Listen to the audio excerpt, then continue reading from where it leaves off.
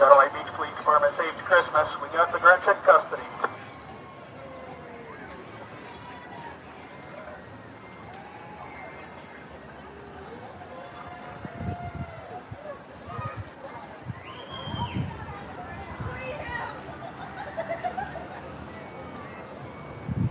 You say free him? Yes!